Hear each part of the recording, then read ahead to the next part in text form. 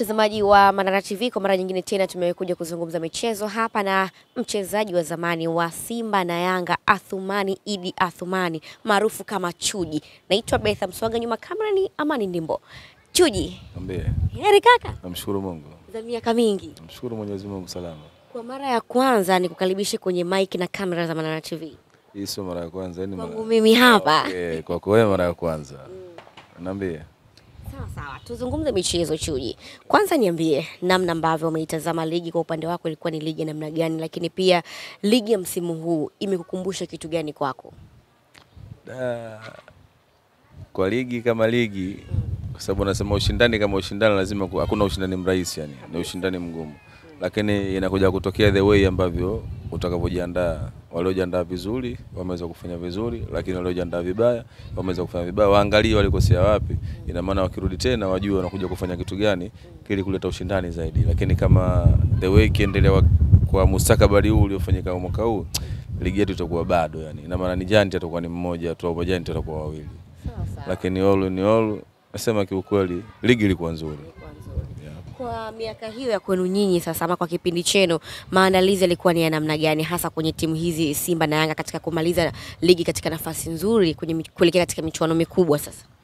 Ah, maandalizi yalikuwa ni tofauti kwa sababu maandalizi ya ligi na maandalizi ya tournament kubwa yanakuwa ni tofauti. Ilikuwa the way tunavyomaliza ligi tunajua kabisa baada ya miezi miwili tunaenda kukutana na kitu fulani.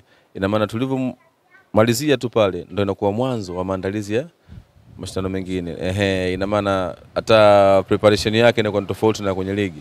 Ina maana kutoka hapa mnaenda kwenye preparation ya kimataifa zaidi. Ina maana kama sasa hivi jinsi walivyokuwa wamegrow up hivi, wakitoka hapa enda nchi fulani kwenda kufanya try, kwenda kufanya mazoezi, wakienda huko wakirudi, tofauti na sisi tulivyokuwa zamani. Kutoka hapa ndio tunaenda nchi fulani, lakini tulikuwa bado hatujawa experience, hatujaongezewa wale watu ambao tulitakiwa tuwe nao, tungeongeza na mchanganyiko wetu sisi. Na imani Tanzania toka zamani ingekuwa nasikia kama hivyo. Sawa. Ya usajili pengine ilikuwa ni namna gani? Ah, presha ya usajili ilikuwepo kwa sababu unakuta kipindi hicho watu mikataba ndio inaisha, alafu unaangalia the way toka mwanzo nimeanza vipi na mpaka season inaisha, je, watu wamenitikia vipi au uongozi wanasikia vipi? The way kwanza unasikia fans wanataka nini? Ukiona fans kidogo kama wanastaki staki, wewe mwenyewe unakuwa na mashaka kidogo, lakini ukiperform vizuri toka mwanzo wa ligi mpaka nafika kipindi cha usajili, wewe unakuwa unatuliza tu nafsi yako na kuangalia ni atakayekuja vizuri, mnazungumza naye, kile anachokileta ndio mnafanya naye kazi. Yeah. Tunaona zamani ilikuwa ni wachezaji kutoka mikoani walikuwa wanapata nafasi sana, lakini kwa sasa hivi wana struggle tofauti na wakati ule. Unadhani sasa hivi kuna nini kimepungua? Na unachoweza kusema sasa hivi yani mpira umebadilika. Wataalamu wenyewe wanakuambia mpira kila baada ya miezi sita umebadilika. Na ndio maana kila siku nakuwa nawahamasisha sana wadogo zangu na wachezaji wenzangu waliokuwepo Tanzania hapa waliokuwepo mikoani kwa sababu tuone aibu. Tuone aibu kwa sababu gani? Zamani Simba na Yanga unakuta huyu katoka Tanga, huyu katoka Morogoro, huyu katoka Mwanza, sio katoka wapi. Lakini the way leo hii unakuta Simba na Yanga ni mtu katoka Zambia, mtu katoka si Kongo, mtu katoka Colombia. Umeona sasa jinsi ilivyo. Lakini sasa hapa mimi naweza kusema kitu kimoja. Hilo linakuwa ni funzo. Funzo kwa maana gani? Funzo kwa wachezaji wetu wa Kitanzania waangalie, je, sisi ambao tulikuwa tunapambania kombe, wao wanafeli wapi? Lakini kutokana na challenge jinsi ilivyokuja, ina maana ni hamasa kubwa sana wameletewa ya kuonyesha kile ambacho kilichokuwa walichokuwa nacho, kwa sababu the way leo hii sisi tunawazungumzia wa Colombia, tunawazungumzia wa Zambia. Kwa nini wa Zambia wasiende kulizungumzia Colombia? Kwa nini wa Colombia wasiende kulizungumzia kwao kule? Yani nilikuwa na matamanio sana kuona challenge inavyozidi kuongezeka na sisi tupate vijana zaidi, yani wahamke na wahamasike, yani ili kuja kuleta challenge zaidi. Yani. Sawa sawa. Uh, tumeona sasa hivi mchezaji ndani ya klabu ya Young Africans anayetajwa sana ni Stefan Aziz Ki. Uh, kwa namna ambavyo umemtazama Aziz Ki, ni kweli Young Africans imepata mchezaji bora ama kiungo bora kuliko misimu yote iliyopita? Uh, kila kitu kinakuja kwa season, lakini kwa season hii sio siri yani. Na imani robo tatu robo tatu ya mafanikio ya timu ameplay part kubwa sana. So sili ameplay part kubwa sana na ilikuwa ni chachu kubwa sana ni Yanga kupata ushindi. Na imani kwa sababu wanakwambia kwenye mpira lazima kuwe kuna mtu mmoja hata kama wote mnajua, lakini kuna mmoja ambaye mnajua da bana, leo akiwepo huyu. Lazima chochote kinafanyaje, ya umeona, kwa uwepo wake yeye. Na akawa hanaonyesha zaidi yani kwamba da bwana, mimi ni mtu muhimu, ni mbeba jahazi la watu wengi huko, inabidi nionyeshe. Kiuhalisia. Ninachoweza kusema yani ameplay yani robo tatu ya Yanga kupata mafanikio katika sizoni hii. ya Sawa sawa, lakini tumeona uh, baada ya miaka mingi viungo wamekuwa wanaongoza kwa idadi kubwa ya magoli. Ni kwamba washambuliaji hakuna au tatizo hasa liko wapi? na no, mpira umebadilika sasa hivi, kwa sababu zamani watu walikuwa wanasema tunacheza mpira kwenye nafasi, lakini sasa hivi nafasi zinakuwa zimebadilika. Kwa sababu gani? Kuna maelekezo ambayo mwalimu anakuwa anatoa kutokana na strategy ambazo anakuwa nazo, kwa sababu mpira siku hizi kila baada ya dakika dakika kadhaa, na walimu wetu walivyokuwa wataalamu sasa hivi wanakuwa wanakaa chini wanasoma, anakuwa anaweza kumsoma mpinzani toka mpira unaanza na mpira unabadilika. Kwa hiyo the way ndio maana unakuta siku hizi hata ma striker permanent inakuwa ni vigumu sana kuwapata, ni mtu yoyote kwa ule urahisi ambao wanaucheza mule ndani ya kurahisisha, ndio maana unakuta yote anakuwa anafunga. Yeah, lakini the way akileti maana yani, lazima turudi katika falsafa yetu, tumpate ule mtu mmoja kiasi kwamba katika mipira mitatu miwili inakuwa imeingia kwenye nyavu. Sawa, Chuji bwana, kuna hii hoja hii ya Simba bwana, inaonekana kwamba uh, Simba msimu huu imeanguka. Ni kweli Simba msimu huu ni imekuwa, imekuwa sio bora yenyewe ama imekutana na wapinzani ambao wamekuwa ni uh, wako bora zaidi? Ah, mimi nachoweza kusema ni kwenye mpira kwa Simba safari yani, kwa jinsi ninavyojua mimi toka nilipopita nilivyoingia, ni kuna misunderstand tu wenyewe pale, na hizo misunderstand sasa sijui zinatoka kwa viongozi au zinatoka kwa wachezaji, kwa sababu mchezaji kama mchezaji ukishasajiliwa kwenye klabu, masuala ya viongozi, masuala ya nini unaachana nayo, unakifanya kile kilichokupeleka pale, na imani hapa katikati kuna walakini ambao walikosea, lakini sema hawajakosea sana kikubwa niseme hivi, waangalie walikosea wapi kwenye season inayokuja, waangalie wataanzia wapi tena. Lakini shida iko ndani, sio kwa wachezaji. yani shida ipo kote kote, kwa sababu haiwezekani shida ikawa iko ndani. Mchezaji ni mchezaji, mfanya kazi, kwa sababu unasema kiongozi ni kama mzazi, au sio? Leo hii huwezi ukacha mimi kununulia daftari afu nikaenda shule nitaandika kwenye nini kwenye mikono, inakuwa ni vigumu sana. Ina maana lazima hapa kutoka kuna source, yani kati ya huku na huku mpaka vitu vyote vinakuwa vinatokea, ndio tunavisikia na vyote vya kusikia hivi kwa sisi tuliocheza uwaga ni asilimia tisini uwaga ni vya kweli, ni vya kweli. Sahihi, lakini waangalie walikosea wapi, ili mwakani waje kuleta challenge, kwa sababu ukitegemea kwa Simba kwa miaka mitatu sio siri, miaka minne walifanya vizuri sana. Kwa ile miaka minne walifanya vizuri, sema sasa unakuta kuna kitu kile unasema management, na wao walijisahau sana.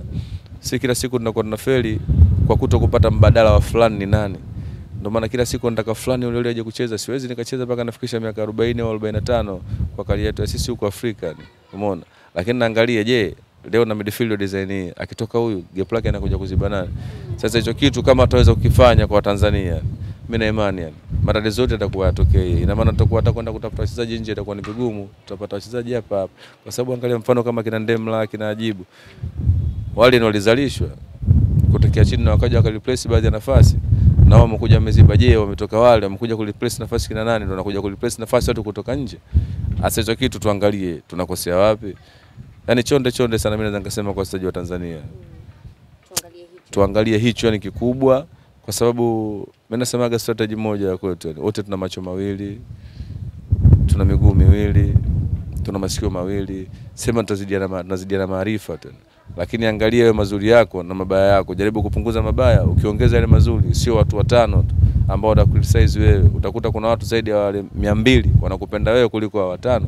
Kile kitu chao kionyesha, sio watu wengi watakataa na watu wengi watakuja kupokea. Na sasa hivi mpira ulibadilika, anaweza akaja mwalimu akaona kile kitu ni muhimu zaidi, akuchukua kaja kupata nafasi.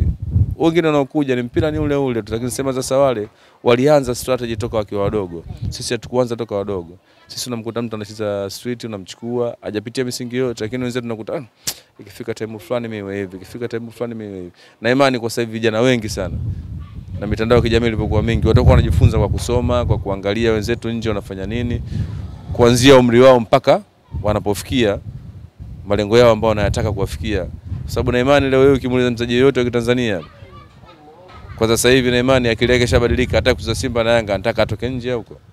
Umeona? Sasa mimi naomba waseme kitu kimoja, waweke ile nia na malengo yao, wanataka kufanya nini. Eh, all in all Mwenyezi Mungu atawasaidia wakifuata strategy zote yale, ili wimbi lote la kutafuta wachezaji si kufanya nini, Tanzania na imani litapungua. Chuji bwana, kuna sakata hili la Yusuf Kagoma kusaini timu mbili, hili pia lishawahi kutokea kwako wewe. Inakuwaje mpaka mchezaji una saini timu mbili? Ah, Sasa mimi kipindi kile kulikuwa hamna mikataba. Kipindi kile si ulikuwa na saini fomu tu yani fomu mama anaweza ukasaini pale ukinipa mgongo tu nikitoka unajua unaweza ukanichana ehe yani unaweza ukaichana ile fomu mimi nikawa sipo lakini kwa sasa hivi sasa unakuta vitu vinaenda kisheria zaidi vinaenda kisheria kwa vipi naweza nikasema kitu kimoja swala lake yeye ina maana kama alisaini mkataba na wakafanya makubaliano yote ile pale kwa yani kwa yeye na kwa kisheria ina maana yeye anakuwa kafeli Anakuwa kafeli moja kwa moja. eh, yani anakuwa kafeli. Lakini sasa akileta yale matamanio ya pesa, kama sisi zamani, unajua ulikuwa ukipigiwa simu unaitwa tu bwana, njoo sehemu fulani, ukija pale yani hamna nini, wala unataka begani na kiasi kadhaa, una sign ile fomu, unachukua hela zako, unaondoka. Sasa hiyo tushatoka huko. Sasa hivi tumekuja kwenye principles zile zote, yani kama tumekuja kwenye principles zile zote, tufuate strategy zote zile ambazo zinatakikana kwenda kufikia yale malengo ambayo nataka tufike. Sasa leo hii unakuja kuleta gumzo, isitoshe bado ni mdogo ina maana ukisha saini mkataba Yanga unaweza kusema kwa sababu nimesikia Yanga walienda kumnunua kabisa Singida, sina uhakika, lakini kama ameenda kumnunua kule, hiyo itamletea tatizo. Mimi nilikuwa naomba wachezaji wengi, wachezaji wote wajaribu kuangalia pindi wanapokuwa wanafanya makubaliano Makubaliano. Eh, kama tunakubaliana pesa yangu mtu anipa siku fulani na usha saini, basi ule mtu ana haki zake zote. Kama itashindikana, sheria zipo, siku hizi zinaenda TFF, bwana, tulikubaliana mimi siku fulani tarehe fulani wataniingizia pesa yangu. Hawaja niingizia, tufate bank statement, ndio kaangalia kule bwana, na chochote kilichoingia, yeye ana sheria kwamba TFF watajua, kwa sababu ndio ndo baba, atajua sisi tunaamua kwa matakwa gani yani. Lakini kiukweli, kama ni kweli ka double sign kwa sasa hivi inakuwa sio nzuri, yani sio nzuri yani, tofauti na si zamani, kwa sababu zamani tulikuwa tuna sign to from mama.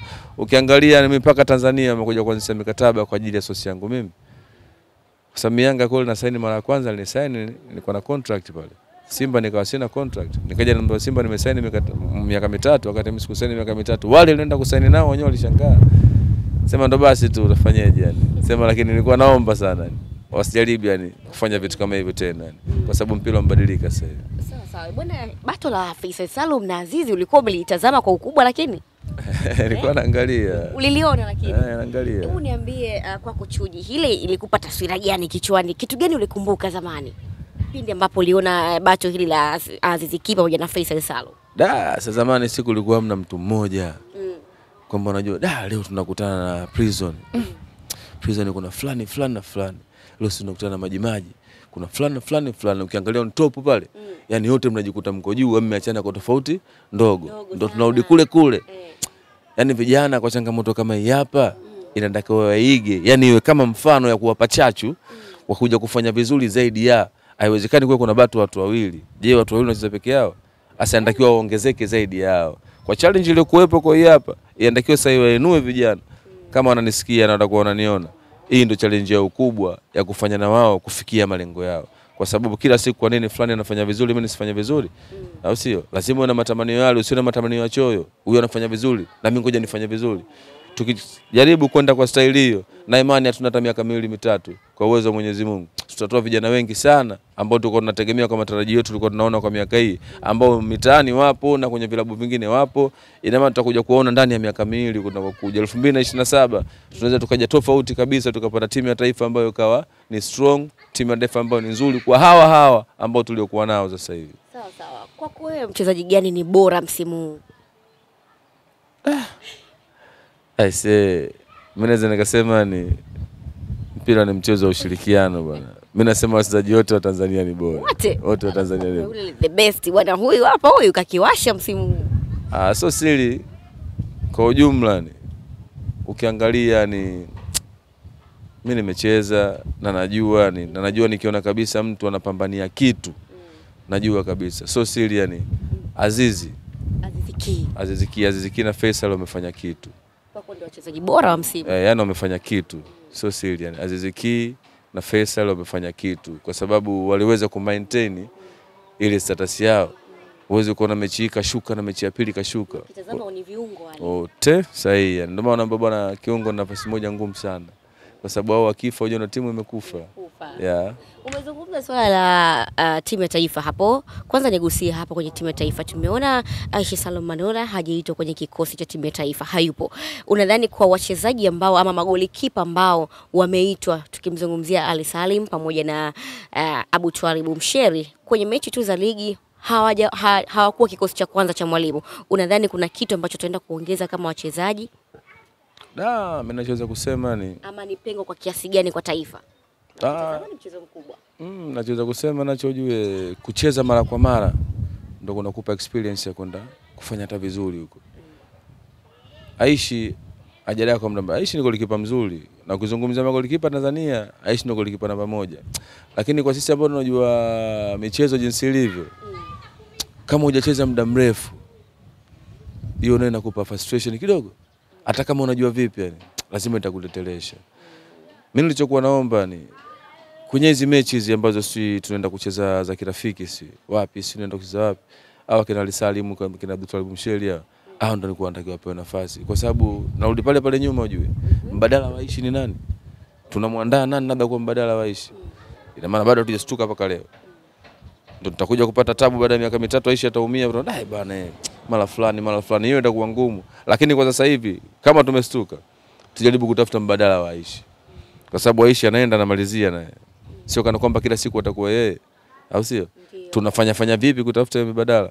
Kwa sababu ukiangalia sasa hivi, nasema kitu kimoja, yani nimejaribu kufuatilia, kuna golikipa mmoja huko Prison ni mzuri, yani ni mzuri sana. Mimi na imani kwa opinion yangu mimi, yani yule mimi ndio ningeweza kusema labda katoka best goalkeeper. Eh, Kwa- vipi sasa kwa msimu huu? kwa msimu huu. Kwa sababu gani? Ukiangalia kimichezo au kitaalamu afu fu- Mzungumzie ule wa Coast ule. no, no, no, no. Namzungumzia wa Wa Prison. Prison ule. Simzungumzie mtu ambaye eh, mimi sizungumzie clean sheet. Mm. Clean sheet ni ya timu nzima. Mm. Kama tufungi atufungwe. Tufungi. Eh, kama tufungi atufungwe. Eh, naangalia save. Ukitaka kuangalia ule mtoto kafanya save nyingi sana afu za hatari. Lakini sema sasa unajua bwana anayeangaliaga hata ujui ni nani yani. Sisi tunasikiaga tu na kuangalia. yani kuona kwenye mitandao na kusikia tu bwana fulani ile lakini kiuhalisia kabisa. Tujaribu kwa mold yani ya magolikipa ili tuje kupata mbadala wa fulani ni nani. Lakini unamwona sasa Yona akipata nafasi katika mechi hiyo kubwa dhidi ya Zambia. Wakati pale kuna Ali Salim, kuna Abu Twaribu Msheri ndani ya kikosi cha Taifa Stars. Nikutolee mfano.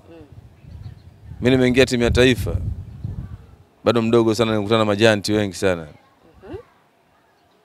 lakini mwalimu wangu wa kwanza. Nilichukuliwa, nilienda Ethiopia, Kibadeni alikuwa anaongozana na Simkoko, waliniamini wale, mimi nikaa na dabo na wale majanti. Na nikaingia kwenye mfumo kidogo kidogo. Tukitaka tuwaingize nao kwenye mfumo, sio wakae nje, tuache uoga, tuwaingize nao wapate experience yani. Kina Mlisho Ngasa kina Jilitegete walipoanza kuchepukia walikuwa wanaingia dakika kumi kumi na tano wakawa wanapewa arobaini arobaini na tano wamegeni mpaka wakaja kuwa majani. Sasa sisi kwa nini sisi tunakuwa tunaogopa wengine wasije kuwa hivyo? Kwa upande wako nadhani ni wakati sahihi wa wao kuonyesha uwezo wao. Kabisa kabisa, kwa sababu ndo umri sahihi. Umri sahihi kabisa ni wa umri wao jinsi ulivyo, ni umri sahihi kabisa ni wa kuleta challenge wao kwa wao, kwanza waletane challenge afu wajamchallenge mtu wa juu. Mimi ni kushukuru sana, lakini kabla hatujafunga, nataka umenipa maelezo yako ya msimu ulivyokuwa, lakini niache na kikosi chako bora kama mchezaji mkongwe. Kikosi changu bora, uh -huh. kikosi goalkeeper atakuwa Diara, uh -huh. fullback ya kulia yao, fullback ya kushoto kuna mtoto mmoja nimemwona Azamu, nani? Pascal Msindo. Ah, sikumfuatilia nimemwona yule. Msindo, alafu double center back pale. Nitamweka Baka, atacheza na kuna mchezaji mmoja. Nimemwona yuko Fountain Gate wale. Nani? Nani Fountain Gate? Singida. Singida Fountain Gate ile Mwau- sio kama Mtanzania yule. Eh, namba sita atampa Ucho pale, wenga kulia atacheza Chama, namba nane Pakome, tisa na kumi pale. Nitamchezesha Azizi na Faisal, kumi na moja atacheza Max. Uh, wewe unawaweka wote Eh, zina ndo hapo sasa wabadilishane hapo, kwa sababu ukiweka kitu kama hicho ujue ah, utapata kitu kikubwa sana, kwa sababu nyuma hapa kuna watu ambao wakusherehesha na mbele pale kuna watu wanaweza kupa matokeo yani. Sawa sawa. Chugi, mimi nikushukuru sana. Asanteni sana bwana. Na huyu alikuwa ni mchezaji wa zamani aliyewahi kukipiga pale Simba na Yanga. Bila shaka utakuwa unamkumbuka vizuri sana namna ambavyo alikuwa akipeleka moto kwa timu hizi. Ilikuwa ni exclusive interview na mimi ni Betha Mswaga, nyuma kamera ni